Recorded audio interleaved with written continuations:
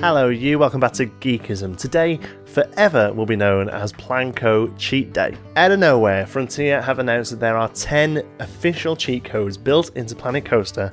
They've been there since 1.2 launched a couple of weeks ago. I assume they gave us some time to figure them out for ourselves. I don't think anyone did. I didn't see anything on social media. But today, they've come out and released all 10 of them for our gaming enjoyment. They announced them through various different sources some news sites, some social media, live streams, and a few other uh, popular YouTube channels. Uh, but I thought I'd do a quick video showing all 10 and what they can do in the game. First up, we have Frontier, the company itself. If you can change any ride name to Frontier, it will stop the rides breaking down completely. Great feature, especially if you're playing in Sandbox and you don't want to have to worry about the mechanics.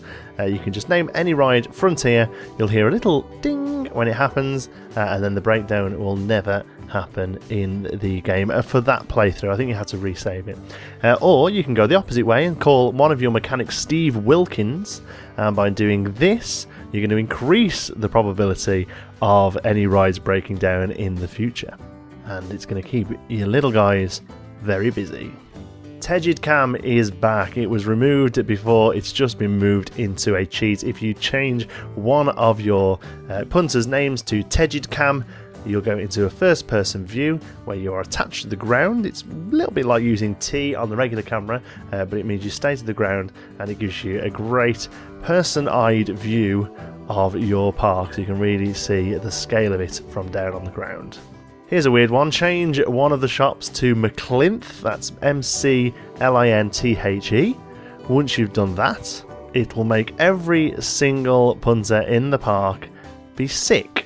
Why you'd want to do this, I don't know, but it's absolutely hilarious. Here's a couple that are a bit more useful. You'll see here on our work in progress boomerang coaster that at the moment it just gets over the uh, the loop there quite nicely and gets about two thirds of the way up the lift hill there before being caught by the catch car and being taken the rest of the way. But if you rename one of your guests James Taylor, it will decrease the friction on all rides within the park. Uh, they haven't given us an actual number, but I reckon it's somewhere between sort of 20 and 40%, something like that. You'll see now that it gets round the loop a lot easier and it gets pretty much to the top of the return there uh, with the catch car just taking it a little bit of the way before it drops you. If that's not enough, you can rename one of your guests Andy Fletcher and that will remove coaster friction completely on all rides in the park. This does apply for most track rides as well. Uh, you'll see this time it absolutely whizzes around the uh, the boomerang there, whizzes around the loop, and in this case, because of how this ride works, it actually becomes a death coaster and goes flying off the end. Uh, I didn't even realise that was going to happen, so you'll see that the camera isn't even ready for it. I didn't even notice until all the punters come off the ride and get stuck at the end, and you just see the uh, the, the, uh, the coaster crashing in the background there. Oh dear. And also, it does crazy things to your log flume as well. Look at that, the Kraken didn't even have a chance. If you rename one of your security staff to be David Getley, uh, that will increase the security heavily in your park and increase the um, the vandalism and that actually heavily in your park. But don't worry, you can rename one of your security guards to be Lockettman with a double T, and that will make him basically RoboCop, smashing everyone out of his way whilst in pursuit. Look at him go.